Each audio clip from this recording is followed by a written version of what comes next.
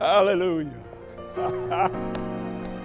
Glory to your name, Jesus. oh, he's worthy this morning.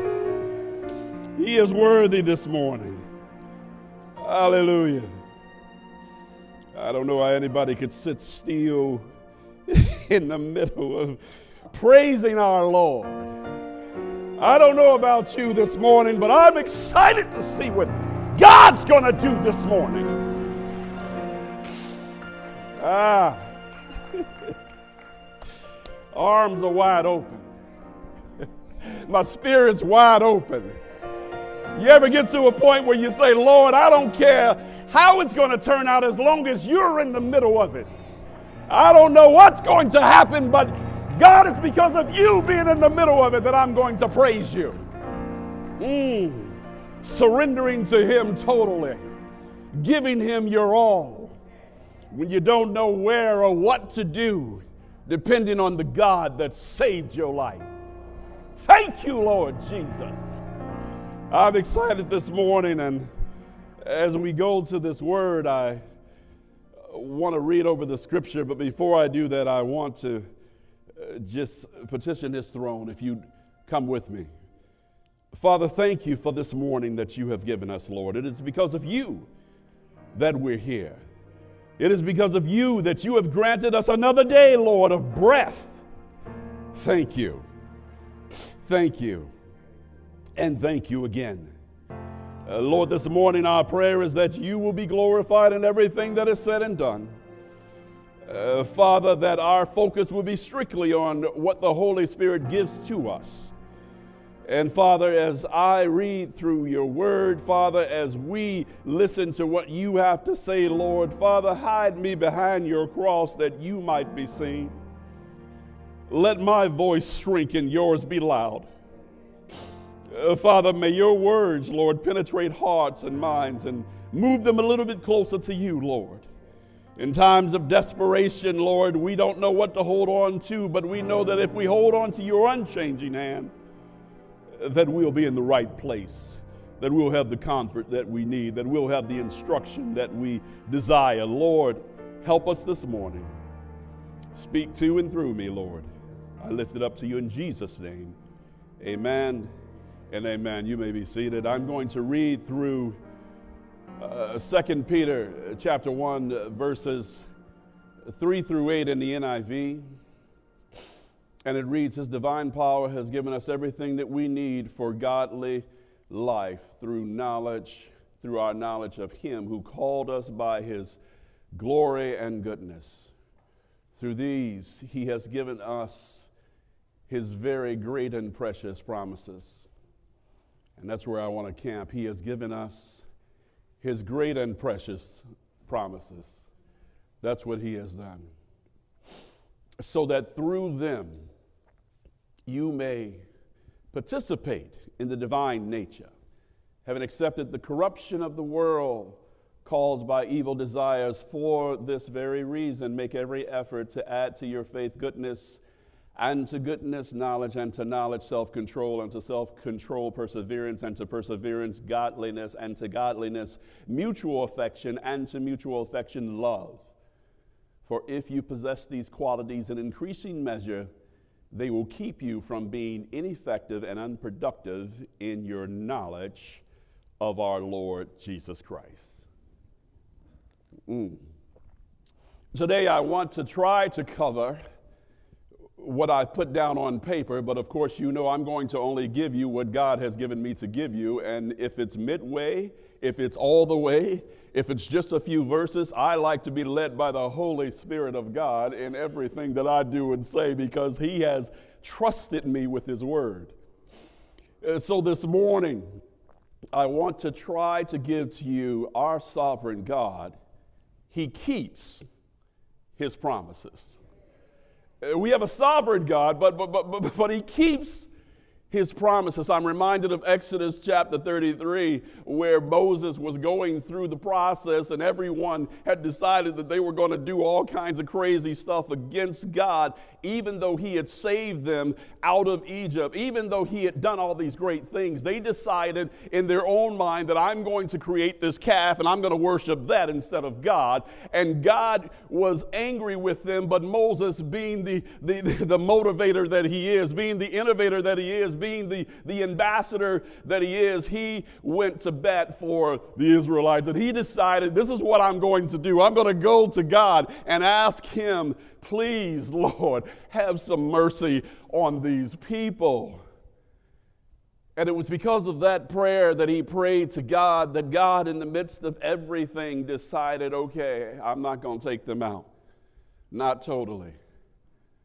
I'm reminded in the book of Genesis that in the beginning, when the world was created, nothing happened until the Spirit of God moved. I'm reminded that when I'm in situations that I don't know exactly what to do, I fall on my knees and pray, and it's because of that prayer that things happen. It is because in the middle of trials, in the middle of struggles, that we find ourselves perplexed and not knowing exactly what to do. And this is the exact time that God wants us to be in the place where we can call on Him and claim His promises that He will be with us and that He will never leave us. It's during those times that we, we, we, remember Scripture and it falls into our spirit and, and, and we, we, we give Scripture back to the Lord, the ones that He's given to us to comfort us, and we say, Lord, you promised. You said you would do this. And it's during those times that, that, that, that when we call on Him and we say, Lord, you promise.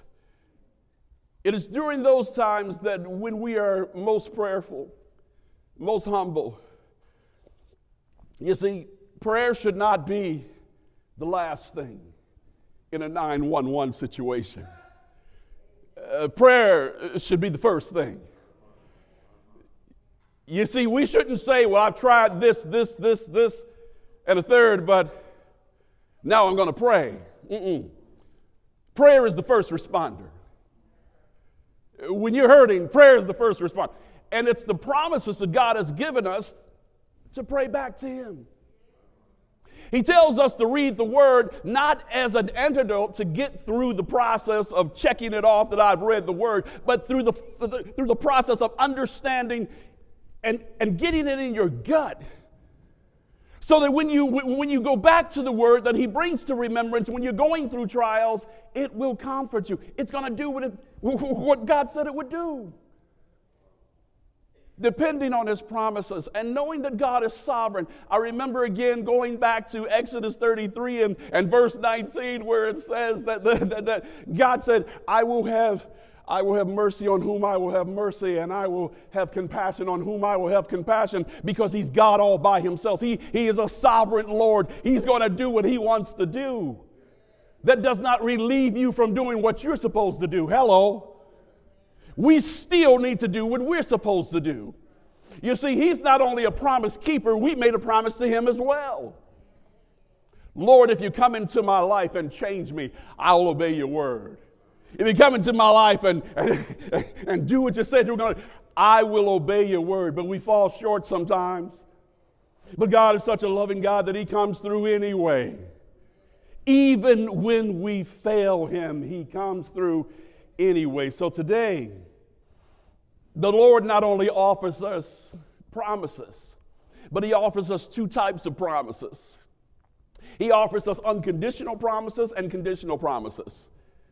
Unconditional promises and conditional promises, yes. There are some conditions. You know, we are so used and accustomed to, to quoting uh, Second Chronicles during the last four years or so, for me anyway. I found myself going back to if my people. And I have to pause and stop there and go, okay, who is God talking to? He's talking to us, his people. He said, If my people who are called by my name, if you're called by his name, then you're his child. Because you see, if you're his kid, you hear his voice and he hears you and he understands you and he, he gives you direction. If my people who are called by my name will humble themselves. So apparently, we're not being too humble these days.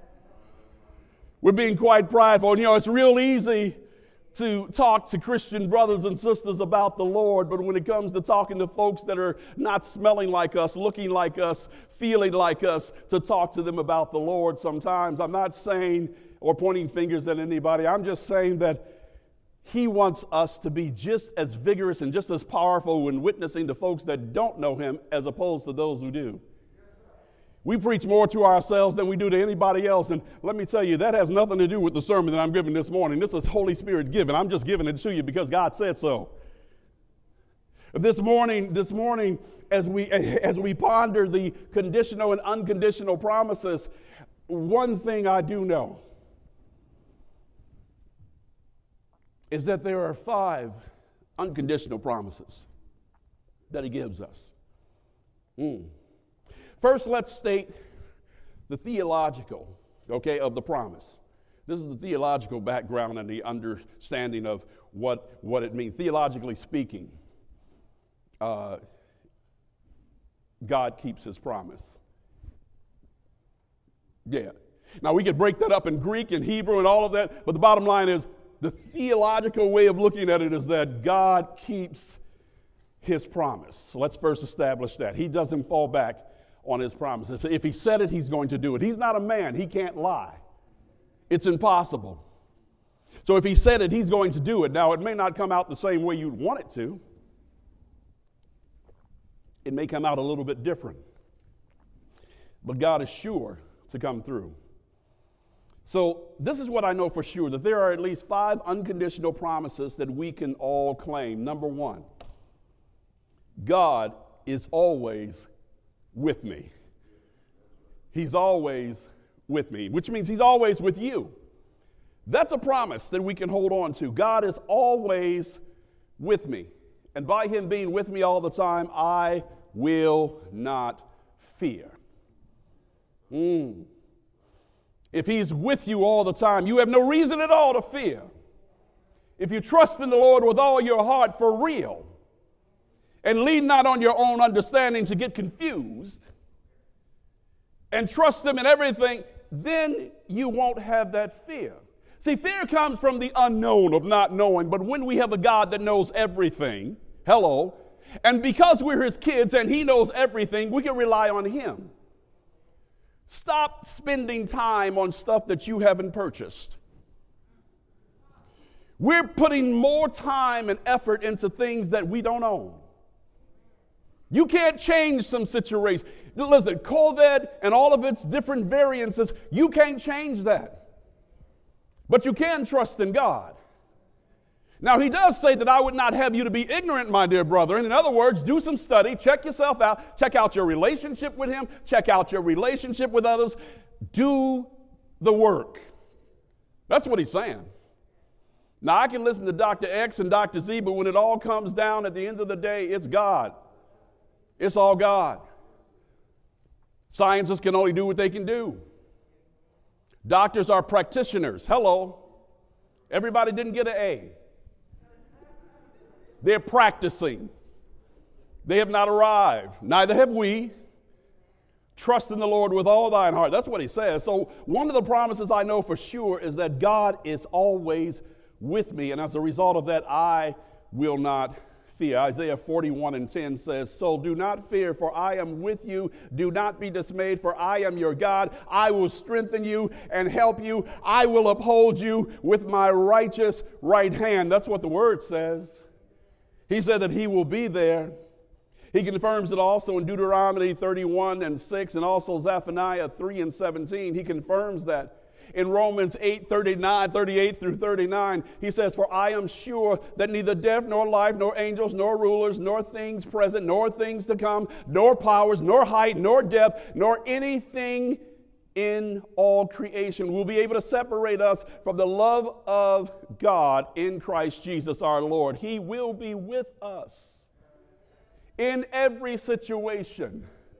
He never promised that He would take you out, but if He does, praise God. And if he doesn't, praise God. Wherever he has you.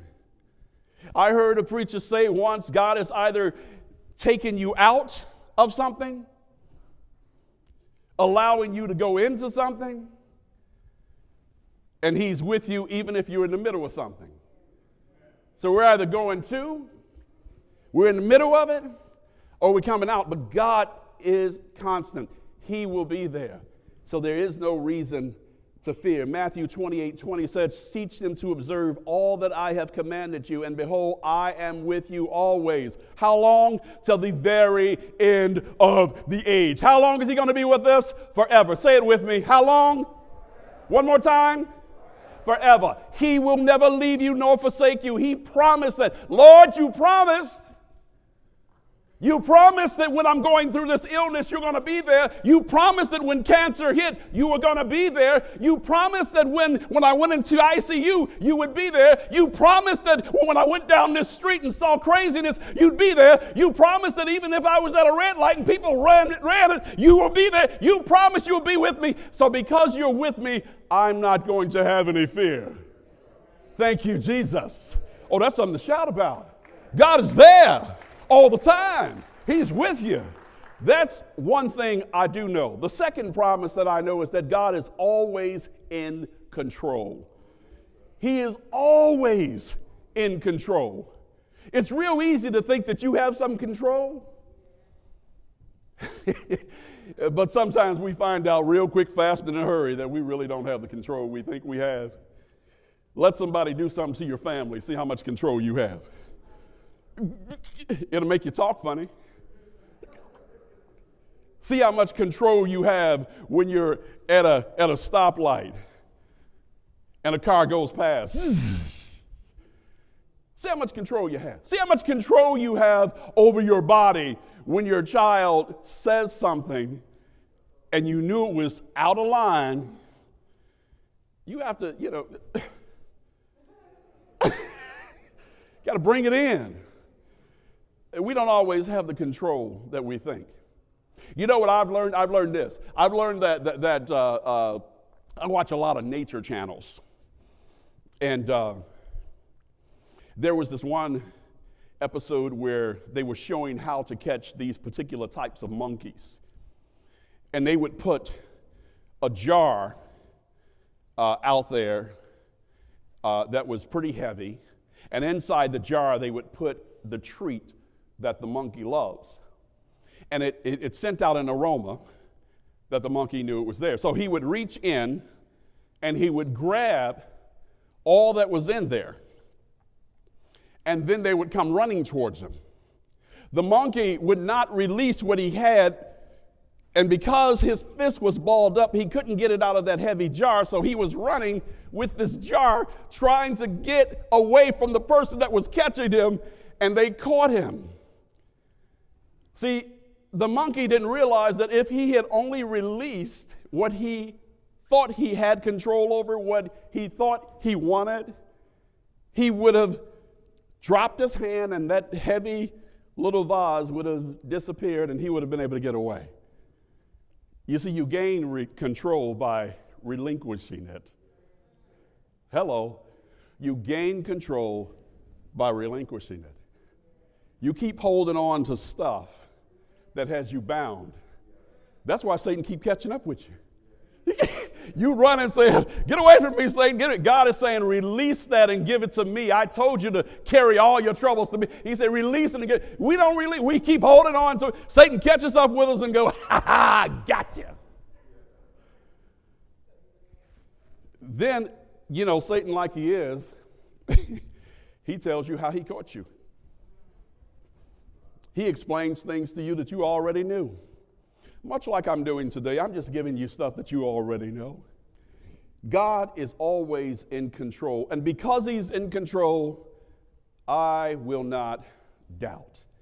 Many other plans of man in man's heart, right? But the Lord, the Lord's purpose is that He prevails. That's the purpose. He is, he is before all things, and in Him all things hold together colossians 1.17 all things hold together. That means even us. Hello you ever been at the edge felt like you were going to fall apart? Who's holding you together? God. You ever at your wits end don't know what to do? Who's holding you together? God. He holds everything together. You know it seems like there's been more illness in these past two years than I have ever seen before in my life. And perhaps it's because it's more illnesses of friends and close relatives. And my prayer list is getting longer and longer. You can't just sit and just pray. Some things you have to labor over. Uh, some things you, you have to just trust God in. I'm not exactly sure why God allows certain things to happen, but I know that He is a God who is in control of everything, and because of that, I won't doubt.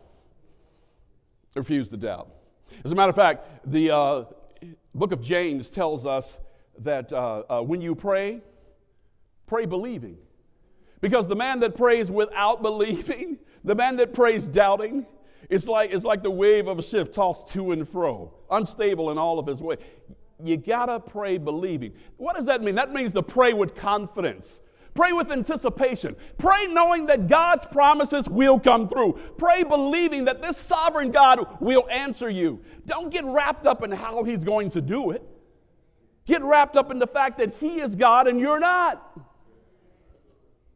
And because of that, you should have that confidence of believing that God will and don't doubt. That's one thing I do know. A third promise is that God is always good. God is always, always good. Taste and see that the Lord is good. Blessed is the one who takes refuge in him. Uh, Psalms 34 and 8. Take refuge in God. Take refuge in him. What does that mean to take refuge? It means that when you are in the midst of all kinds of things that you cannot control, when you're being attacked from all sides, take refuge in God because He will fight your battle. I'm recalling in, in, in, in uh, Chronicles where, where He said, This battle is not yours, it's the Lord's. God will do something amazing when you cast all of your cares on Him. He will do something incredible once you give it and release it all over to Him. He will come through.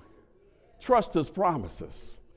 Trust His promises. He is always good. For the Lord is good and His mercy endures forever. His faithfulness continues through all generations. Psalms 105, that's what it says. Praise the Lord, for the Lord is good. Sing praises to his name, for that is pleasant. Psalms 135 and 3. That's one thing I do know God is good all the time. And all the time, absolutely. As a matter of fact, someone said to Jesus, good, good, good, good teacher. He said, Hold it, hold it, hold it. Why do you call me good? Did he have an answer for him? What was his answer? he was God. He was God. He received that. God is good. God the Father, God the Son, and God the Holy Spirit, they're all good. They're not individual gods, individual deities. One God, three, uh, well, I'm getting into something else there, right? One God, three persons. They're all good. They're all good. That's the one thing I do know. Fourth promise is God is always watching. He's always watching. He's checking you out when you're doing the great things, and He's checking you out when you're doing not so great things. the eyes of the Lord are in every place, beholding the evil and the good. It's beholding both of those. God is always watching. For your ways are full, in full view of the Lord, and he examines all your paths. Proverbs 5:21. Let me read that again. For your ways are in full view of the Lord, and he examines all your paths.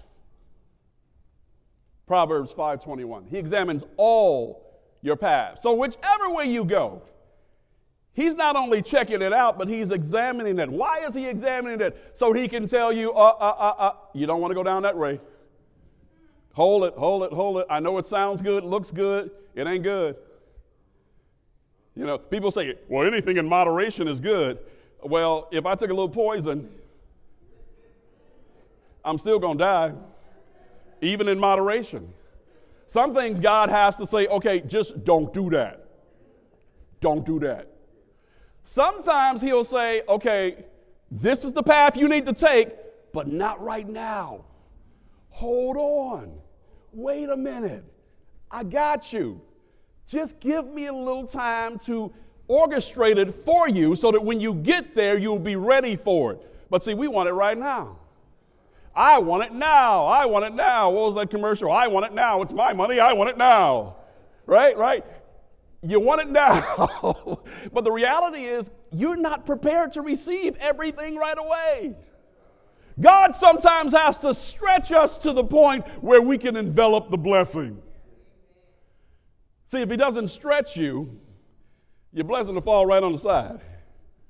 So sometimes we've got to be stretched to the point where we can actually receive it. God wants to guide us to where we're going to be most happy. Happy is the man, blessed is the man. He wants us there. He is always, always watching. How long for a month gone? A month gone by for the days when God watches over me. Job 29 and 2. The Lord said to me, I have seen correctly, for I am watching to see my word is fulfilled. That's Jeremiah 112. He's watching to see that his word is fulfilled. So, so, so this is the thing. If you don't know his word, you can't fulfill it, can you? So again, it goes back to what? Timothy, study to show thyself approved, a workman that need not be ashamed of the gospel, rightly dividing the word of truth, right?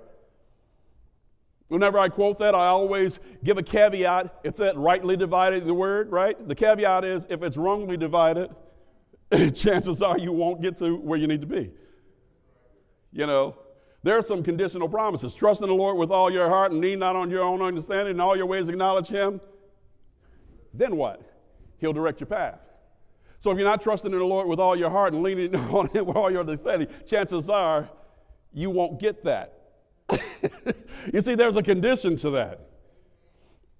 I haven't gotten to conditional ones yet. Fifth, God is always victorious. God is always victorious. And because of that, I will not fail, and neither will you. He is always, always, always victorious. God is strong and always victorious. Both deceive and deceivers are in his power. Need to let that resonate for a minute. Both deceived and deceivers are in his power. That's what, that's what comes from Job 12 and 16.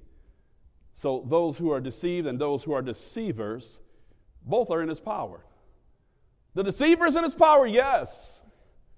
Yes. And the person that's being, yes, he's in his power too.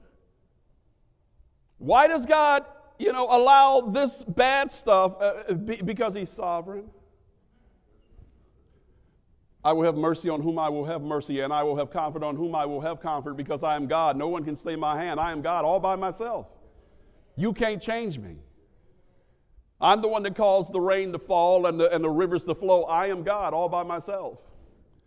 He is the one that pressed down his hand in the middle of earth and mountains came up. That's what it says. He is God all by himself. He does what he wants, whenever he wants, to whomever he wants, and however he wants to do it because he's God.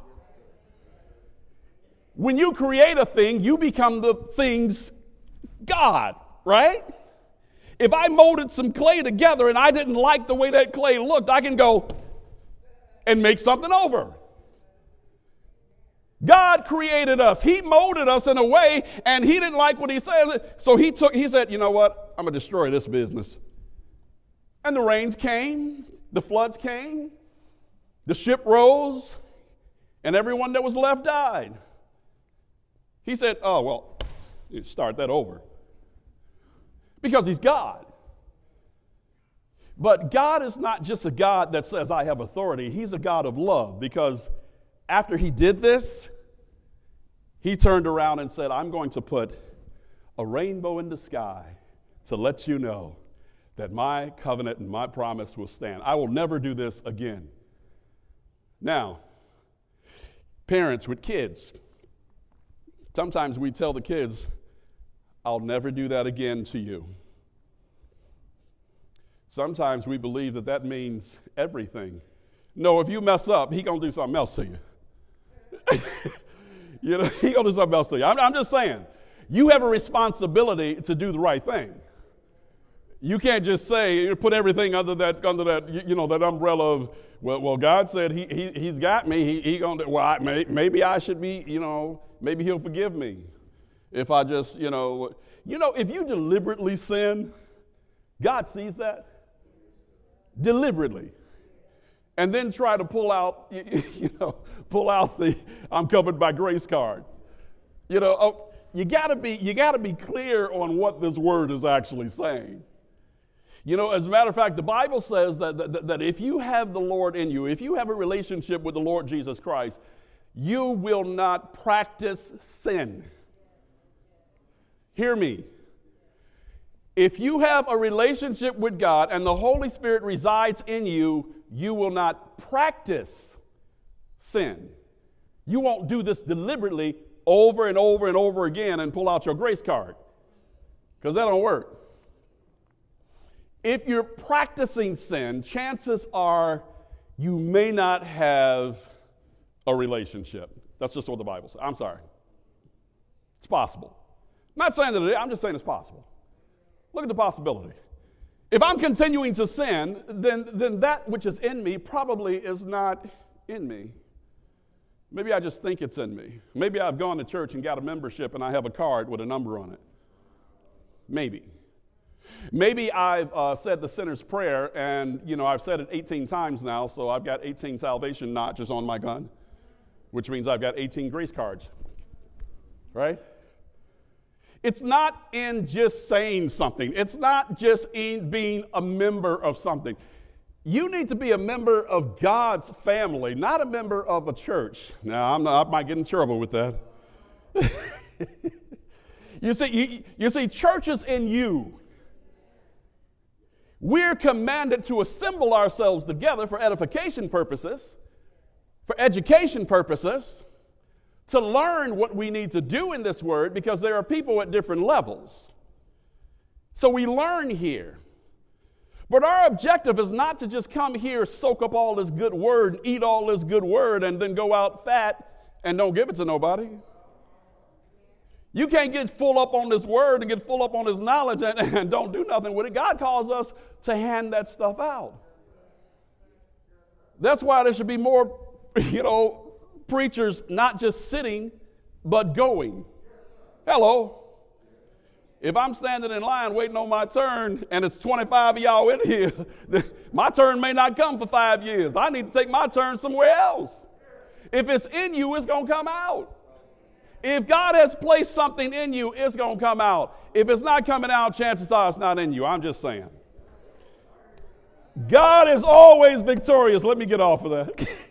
God is strong and always victorious. Both the deceiver and the deceived are in his power. But thanks be to God, he has given us victory through the Lord Jesus Christ. If you have him as your Lord and Savior, he's given you the victory that you need to get through all of these things. Ye are of God, ye are of God, little children. This is what it says in 1 John 4 4, King James Version. Ye are of God, little children and have overcome them, because greater is he that is in you than he that is in the world. We've heard that since we said yes to Christ. Greater is he that's in you than he that is in the world. What does that mean? That means that the one that is in you, the Holy Spirit that you possess, is in you, is greater than he that is outside in the world. The deceiver is outside the world, evil is outside the world, Satan is outside the world.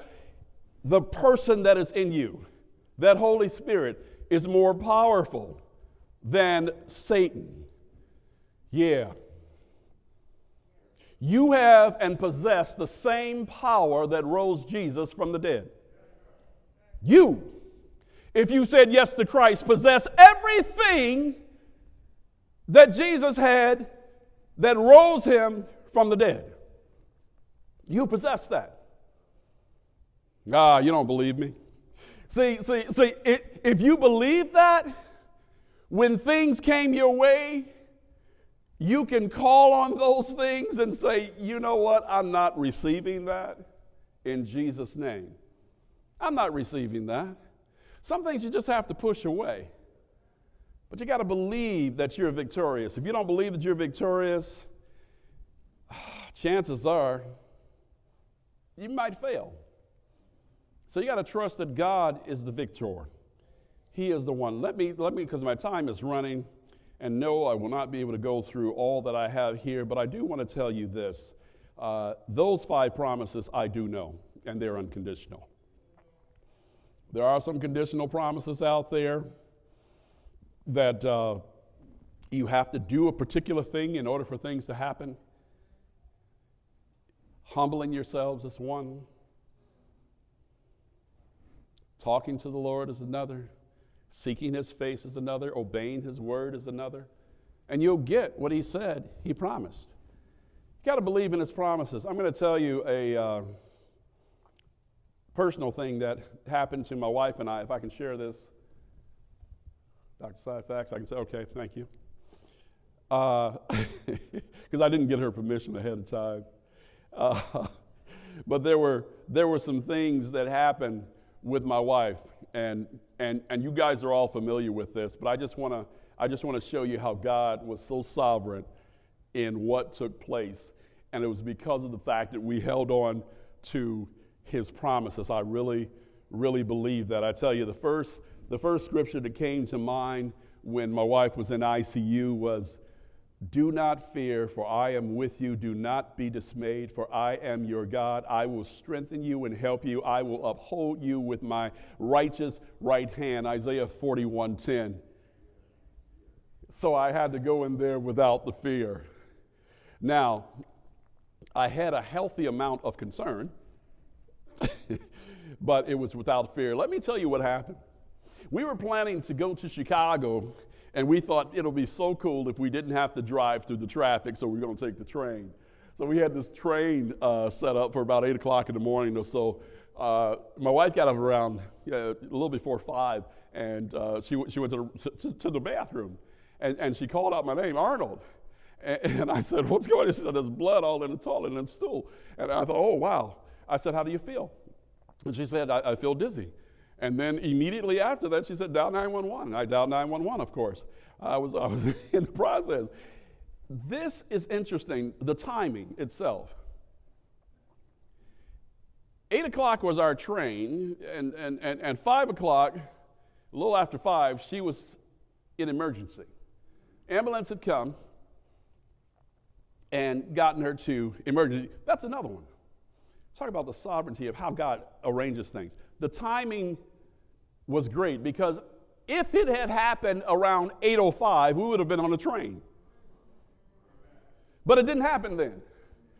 It happened before then. As a matter of fact, even while she was there, and she was trying to figure out, okay, maybe we'll still have time to catch the catch the train. So she's asking the doctor, okay, how long is this going to last? And, and uh, he said, uh, you, you have internal bleeding.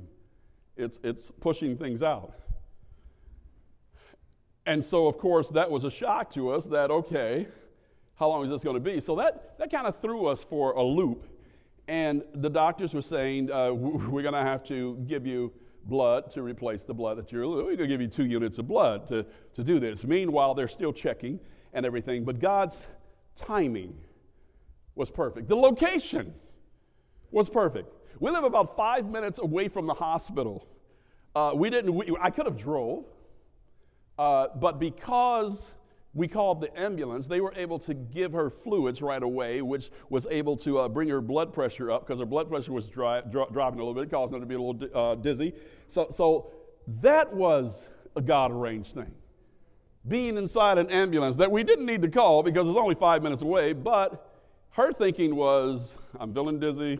If I'm going to need something, they're going to have it. so having an ambulance take it, the location, the hospital's five minutes away.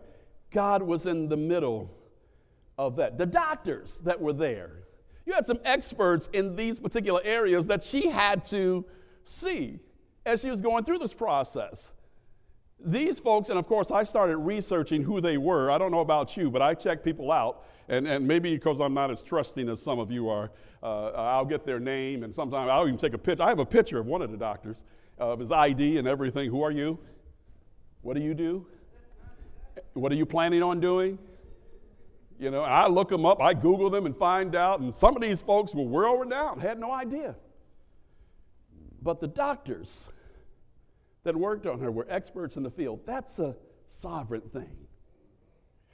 I put out a prayer. As a matter of fact, in, in the ambulance, I believe it was, she put out a, a call or a text to her sisters, and they started praying, and they have this network of prayer warriors. I put out uh, a call to a few people saying, okay, only one prayer stop the bleeding. It was my only prayer stop the bleeding. She ended up going through two transfusions, two near death situations because her pressure had dropped so low. It was like 59 over 36 or something like that. Uh, when your pressure drops that low, I found and discovered that your body goes into shock, things start shutting down. You know, like your, your heart, your lungs, all that kind of stuff start shutting down. So they got it back up. This is the beauty. I kept thinking about, so do not fear, for I am with you. Do not dismay, for I am your God. I will strengthen you and help you. I will uphold you with my right hand. I wasn't nervous, and she most certainly wasn't nervous. People, the doctors were amazed at how calm she was. As a matter of fact, when all of this stuff was going on, there was one person that came in and said, Well, I know you're scared. And she stopped them in their tracks. No, I'm not. And you need to leave with that business. you know, some, some people you have to just move out of your way that comes with those negative, you know, things. I know you're scared. You're going to be terrified. You're going to be, no, no, no, I don't receive any of that. You need to move around. And sometimes you just need to move people around that's, that's speaking that kind of stuff into your spirit. Anyway, anyway, anyway, my time is running. But I, I thought this was a great example to show how sovereign God was and how He is in the middle of everything that transpires. He's there doing the good, during the bad, during the indifferent. I've got friends that I'm praying for that are going through. I don't know what God's going to do, but I'm trusting Him. And I'm not, I'm not fearing. I am trusting God. Situations don't change without prayer. Situations don't change without prayer. Prayer is the first responder. I think back to Jehoshaphat when he was fearful of things happening. And like I said earlier, he didn't know if he was going to be able to take uh, this war on or, or win against these people that were coming up against him. God told him, chill. You just need to chill. As a matter of fact, when God finished talking to him, folks were singing. And the singing, you know, he put a choir out there, right? So the question, hey, there's something to be said about musicians and singers and praising God in song. Y'all just need to hear this. Sometimes that will fight the fight before you even get to the fight. But you got to get there. you got to get there. So by the time Jehoshaphat got there, it was over. These folks had taken out each other. So I guess in essence, I want to leave you with this God's promises are sure. He is a sovereign God. God is always with us. God is always in control. God is always good. God is always watching. And God is always, always victorious. And perhaps you don't know him today. And I want to give you the opportunity to say yes. I want to give you the opportunity to know who this victorious God is. You see, during the time of this COVID 19 and all of its variances, uh, during the time of cars that are running red lights and hitting folks and killing them, during the time where things are happening that are unprecedented, during the time where we don't have the antidote, God is. God is. He's the one that can actually take care of those things. Now, am I saying it's going to be perfect? No. But I am saying that it will be taken care of.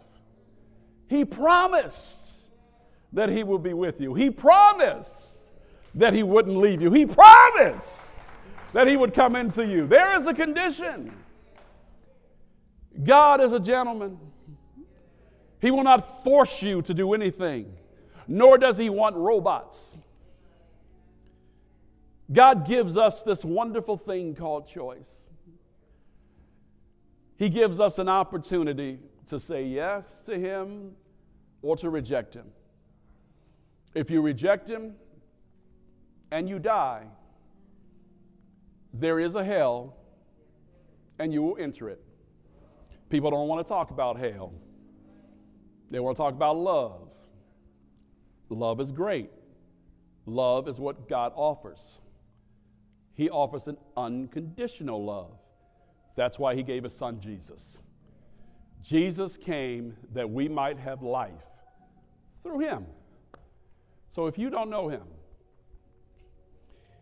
recognize your condition. This is your condition. Bible says we're, we've all sinned and fallen, and you, you know, we're not good people. People say, oh, well, everybody's generally good. No, everybody's generally bad. Generally. Now, I know you don't want to hear that, but that's the thing.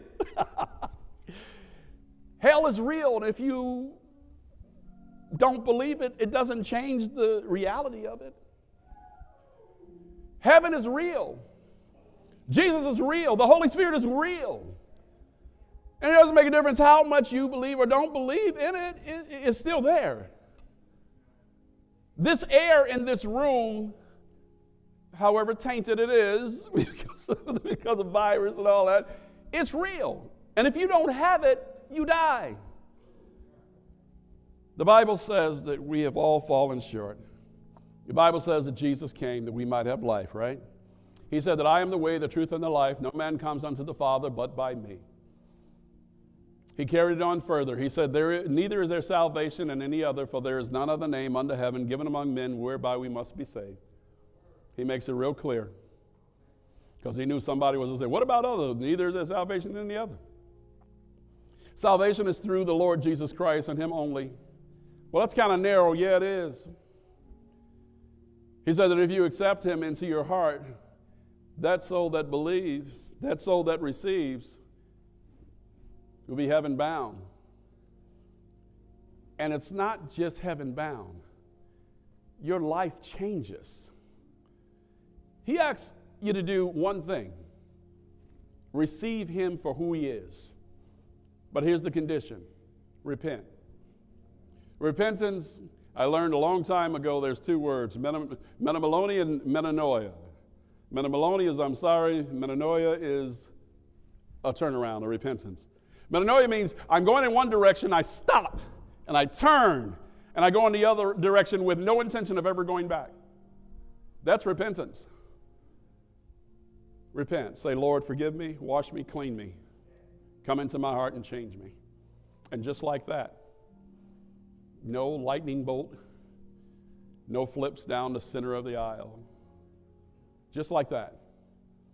Intellectual decision that results in a heart transplant and a changed life.